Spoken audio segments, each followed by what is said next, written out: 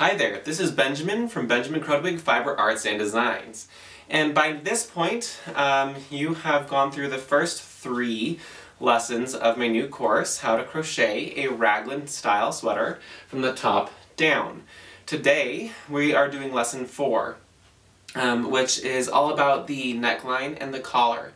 So you'll notice that I have a new sweater um, next to me at this point, and this is just to show you a different way to go about making this sweater. I made this sweater a little bit more tight fitting um, for myself, so that's why it's a little bit more snug on the mannequin here. And there's a different neckline than there was on the other sweater. So this one is more of a mock turtleneck. You could also maybe call it a cowl neck sweater. Um, and that's the kind of neckline that I'm going to be making in the next portion here. Um, so I did my neck measurement um, in the last video and I did it at 18 inches um, and with it being three stitches per um, inch it's going to be 54 stitches. So the great thing um, about this lesson is that we're going to learn a new stitch we're going to learn what's called the foundationless single crochet. So what that means is that um, most of the time when you start a row you're going to do a chain stitch and that's you put your slip knot on your hook, yarn over, pull through, pull through, and you just keep going and you get what's called a foundation chain. In this tutorial, we're going to do foundationless single crochet, and that's going to give us a much more flexible um, neckline. Um, it's not as tight as a chain stitch would be, so that's why we're going to want to do it, because it's going to have to go over our heads and make sure that it fits that way. So to start, you're going to chain two. So I have one, two, and then there's a third stitch on my hook. I'm going to insert my hook in that first chain that I made. I'm going to yarn over, pull through a loop, so I now have two loops on my crochet hook, yarn over, and pull another loop through. So this gives me one single crochet on my um, foundation chain, or foundation row. The next thing that we're going to do is insert our hook into, so there's two holes here, so here's the loop on my hook. Here is a stem, and here is a stem. I'm going to go into that first stem that is closest to my working yarn and furthest away from my hook. Sometimes this is kind of tight, so it, takes some fussing to get in there. So I'm going to yarn over, pull one loop through, yarn over, pull that loop through both loops on my hook. So let's do that again. So there's this part and this part. I'm going to go into the leftmost part, yarn over, pull a loop through, yarn over, pull a loop through. I'm going to repeat that just one more time. So there are two places that I can put my hook, either here or here. I'm going to put it into this far one on the left. Yarn over, pull through, and pull through. So you can see this is already a lot more um, stretchy or flexible than a chain would be. So we're going to do as many of these as we need for our neckline. And in my case it's 54. I've already done 4, so I just need to do 50 more. Alright, so I've done my 54 foundationless single crochets. You can see that it has quite a bit of stretch. It'll be fine to be getting around my head. Yeah, it's going to be just fine. So it's at this point that we're going to start working the round. I need to grab a stitch marker now because to know where we are when we're working, we're going to want to make sure that we put in a stitch marker. That way, when we go back around, we will be where we started. So it looks like here there's a bottom and a top. The top has all of these V's, and the bottom is pretty much just these little bumps. We're going to want to make sure that we do not twist our foundation chain here, or our foundation row, um, because otherwise that'll be really hard to fix later on down the road. So I'm just going to insert my hook into this first single crochet that we made, and I'm going to single crochet. Um, most times when you see something like this, you would see me actually slip knot um, to bind off that row. But since we're doing a seamless sweater, I'm just going to go right into the single crochet. I'm going to place my stitch marker into that stitch, and I'm going to start single crocheting along this row.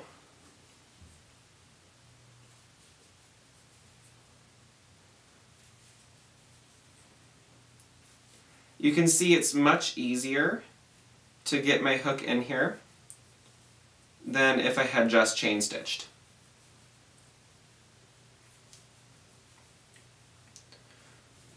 So since I'm doing a mock turtleneck, I'm going to go for a good maybe three or four inches um, and then I will come back and work on placing the next steps. Alright, so now I have finished doing the collar of my sweater. So this is the top and this is the bottom. Um, however, the way that we're working it is since it's from the top down, um, our working stitches are actually going to be traveling down the sweater. So I did about, uh, let's see, I think four inches, four and a half inches of collar. So when I fold it down, it'll be approximately two to two and a quarter inches of actual collar. You'll see that where we started, right here, there is a little bit of a jog there. But to take care of that, at one point I will just take the tail from the very beginning and stitch it in, and it'll even it out and make it look like one even collar edge. Alright, so I switched out my stitch marker in the back for a white one um, because we're going to be placing our raglan increases now. So I have four other stitch markers in a different color. That way I can make sure that I place them in the right places. So I'm just going to set this aside for now. So to make sure that I do this right, I need to do a little bit more math. So we found out that with the 3 inch ease measurement, um, that my chest is 41 inches, which is 124 stitches in our gauge. And then for my body, I measured my total body girth measurement as 46 inches. Um, however, I wanted to add a little bit more ease into that because it felt like the armholes would be a little too small. So I added a total of 10 inches, so that's 5 inches on each side. Um, that seems a little weird, but it works out in the end, promise. so now we have 51 inches, which is 153 stitches.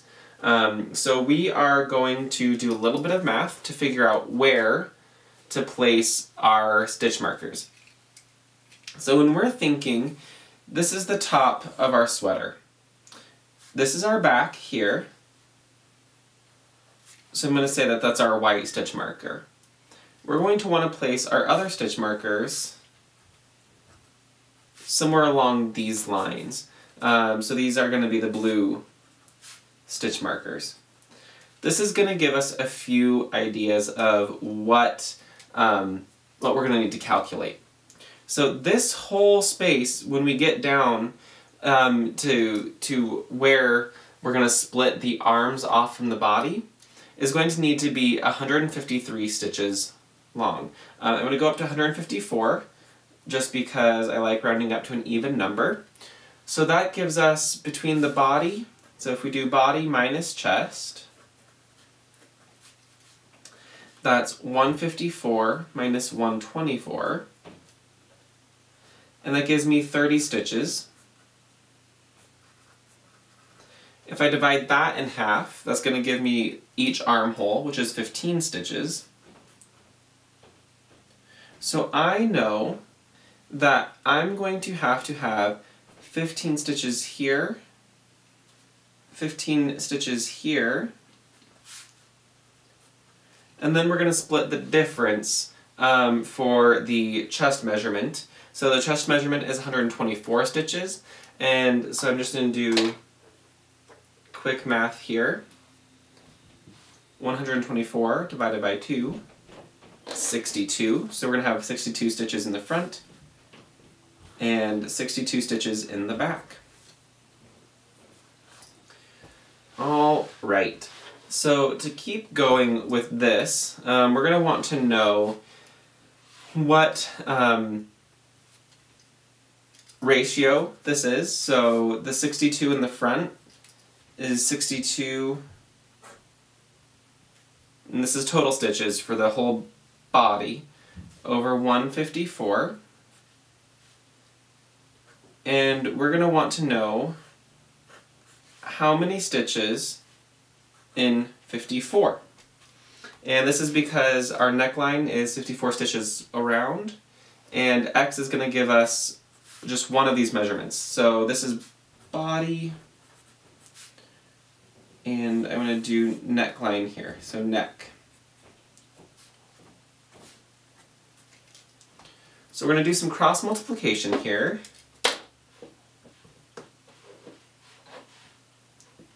Should be pretty simple.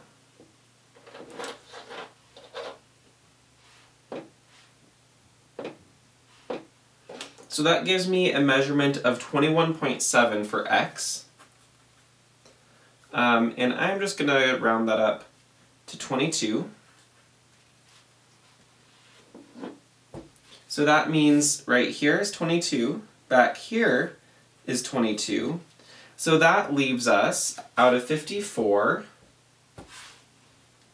that leaves us 10 stitches because 22 plus 22 is 44, 54 minus 44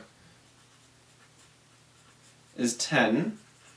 So I need 5 stitches in each arm area. So we're going to move the notebook now that we know how many stitches need to go where. I placed my stitch marker in the first stitch, so this is stitch number one.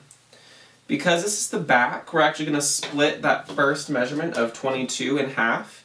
Um, so I'm going to do 11, so that's 1, 2, 3, 4, 5, 6, seven, eight, nine, ten, and 11. And I'm going to place my stitch marker in the 11th stitch. So now I'm going to count five. One, two, three, four, five.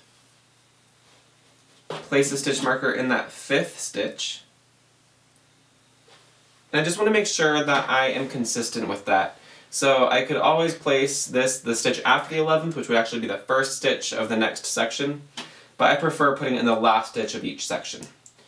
So now I am going to count out 22, 20, 21, 22, place stitch marker in the 22nd stitch, do 5 for the other armhole. 10, 11. So now I know that I have exactly the amount of stitches that I expected. So you can see, if I just pull this up, here's my back with the stitch marker in white.